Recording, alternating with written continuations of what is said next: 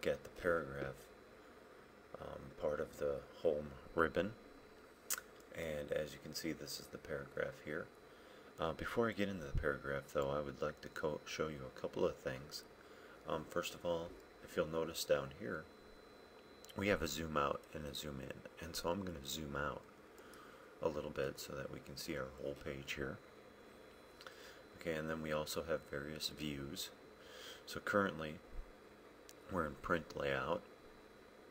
We could also go to full screen, full screen reading, web layout, outline, or draft.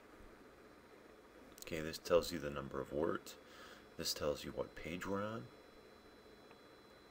And we have no proofing errors and no macros are currently recording. Okay, so here's the paragraph. And what I'm going to do is I'm just going to type some text here.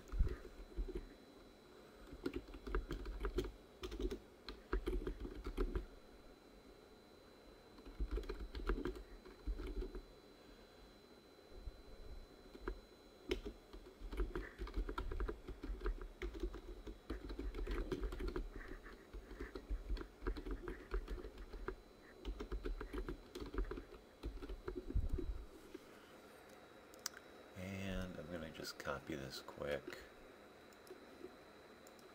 And then just keep pasting.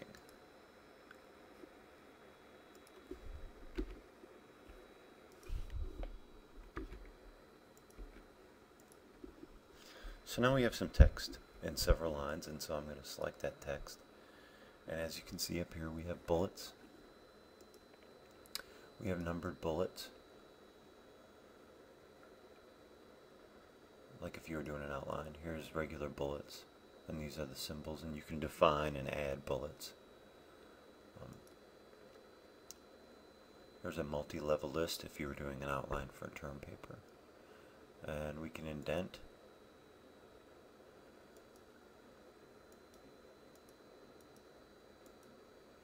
We can sort our text, but we're not going to do that right now. We can show and hide our codes and these are just the codes that tell you what's going on. For example, this was a return code so that it makes a new line. Uh, down here we have, of course, our lines, left, middle, right, and justified. Uh, we also have our line spacing. So I want to go 2.5, 1.15, and so on. We also have shading. This would be the background behind this paragraph of text. Or we can also put in a border. And you can see we can do all kinds of stuff for the border.